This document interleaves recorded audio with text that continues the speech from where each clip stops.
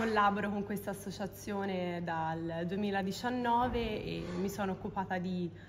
tanti progetti a partire da quello di prevenzione dentale Achilles sul confine turco-siriano fino eh, diciamo, a lavorare un pochino più eh, in modo approfondito all'interno delle baraccopoli. Sono stata due volte eh, a Korogosho che è una delle più grandi baraccopoli dell'Africa e è stata un'esperienza molto forte, chiaramente. Eh, quello um, che ho fatto io e che sono riuscita a portare eh, è stato relativo a un progetto di fotografia. Eh, in pratica seguivo eh,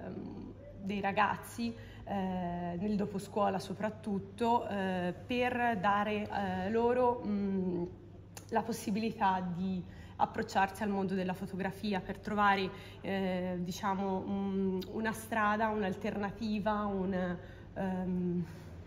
come posso dire, un tipo di eh, arte che avrebbe potuto loro eh, dargli la possibilità di esprimersi e raccontare la loro storia. Questo è stato possibile soprattutto grazie alla costruzione dello Smiling Center, che è un centro eh, polifunzionale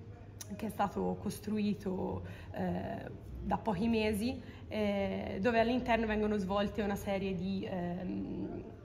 lezioni nel dopo scuola chiaramente, eh, dall'informatica alla fotografia, ehm, teatro, musica e arte e io mi sono occupata principalmente della fotografia.